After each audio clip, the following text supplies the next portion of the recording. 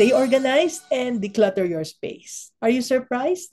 Decluttering is not just for the home. It can do wonders for your business as well. So try to keep your workspace neat and tidy to maintain organization and a clutter-free environment. Having everything in its place can help you stay focused and make routine tasks feel less dull. Also, this can help you tackle your work with ease and keep things flowing smoothly. Here's an example of why it's beneficial. Anna owns a floral shop. She often found herself overwhelmed by the routine tasks that came with running a floral shop. Now, that changed when she got the guidance that she needed. Here's what she did.